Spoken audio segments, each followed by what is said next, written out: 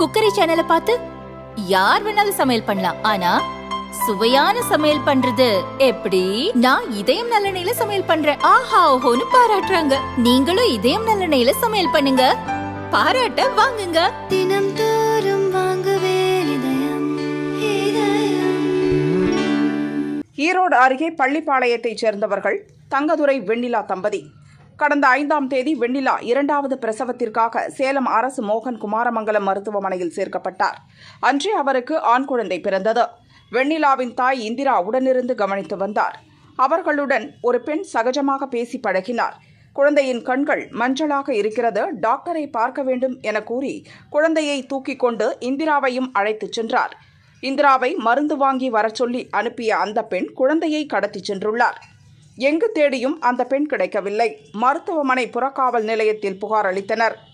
போலீசார் சிசிடிவி பதிவுகளை ஆய்வு செய்தனர்.